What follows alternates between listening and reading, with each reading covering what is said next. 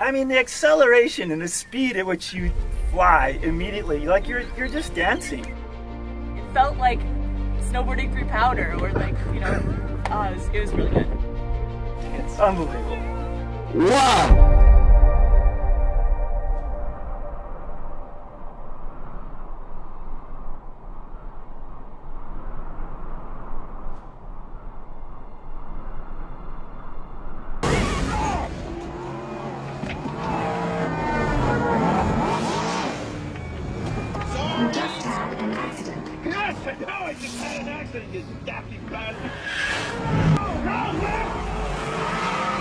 In the 1880s, the first automobile was developed, and about two decades later, the Wright brothers in North Carolina invented the first successful airplane.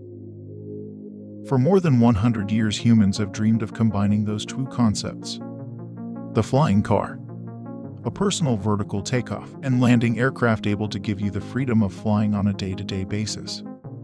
In recent years, converging technologies and improvements in batteries, electric motors, controllers, and carbon fiber technology have reached a point where they have the potential to revolutionize air travel.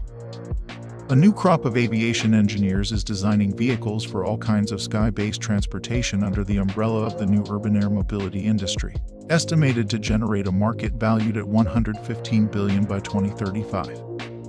Big companies currently have flying prototypes and are getting closer to pass regulations and get their aircraft certified. But there is a problem.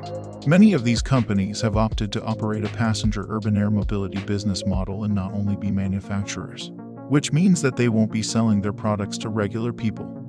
Moreover, even if you are one of the lucky few allowed to buy one for personal use, the prices of all of them are out of reach for most of us.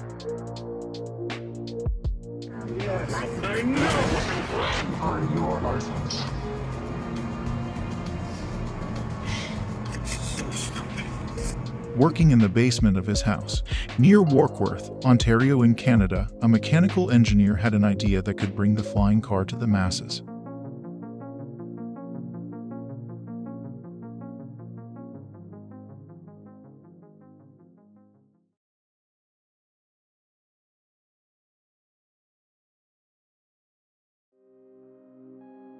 First aircraft uh, was built in the, the, basement of my home, just outside of Warkworth.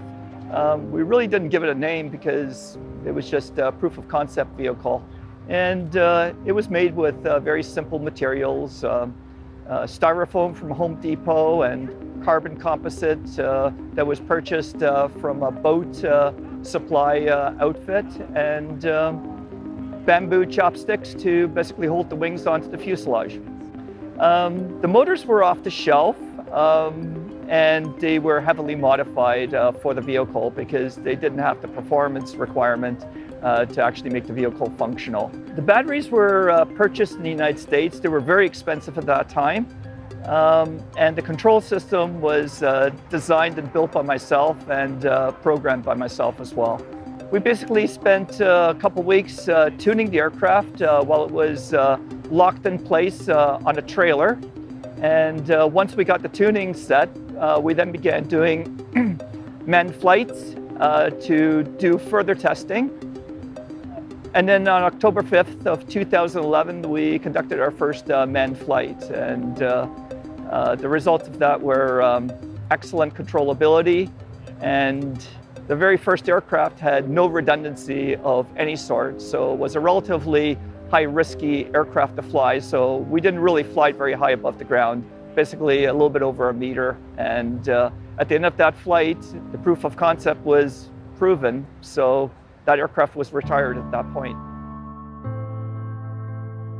On October 5th of 2011, history quietly was made that day saw the first manned flight of a fixed wing all electric vertical takeoff and landing aircraft.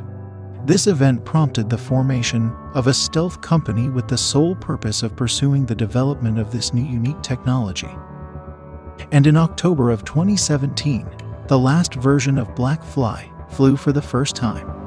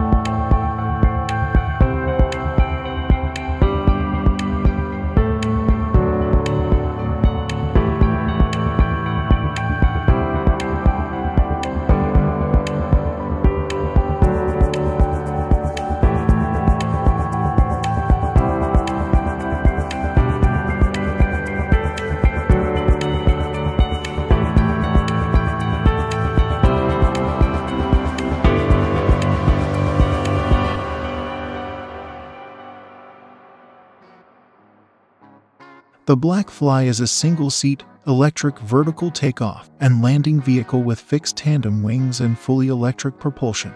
It is classified as ultralight in the US and basic ultralight in Canada. The Black Fly can land in grass, asphalt, snow, ice, and it also has amphibious capabilities.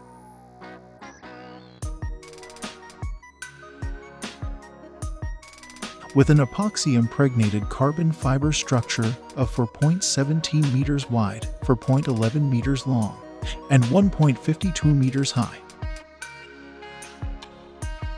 Weighing 155 kilograms, is capable of 40 kilometers of range for the US version and 64 kilometers of range for the international version.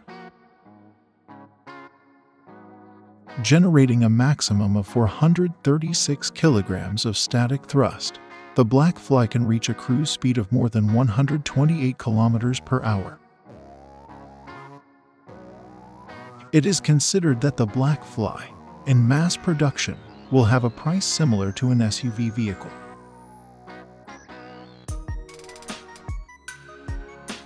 To fly a black fly it is not needed a pilot's license in the US, but Opener requires that all operators successfully complete the company-mandated vehicle familiarization and operator training.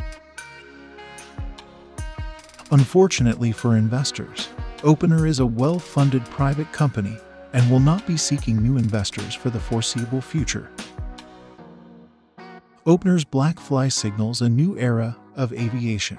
Time and money spent traveling and maintaining infrastructure will be reduced. People will go places they never thought possible.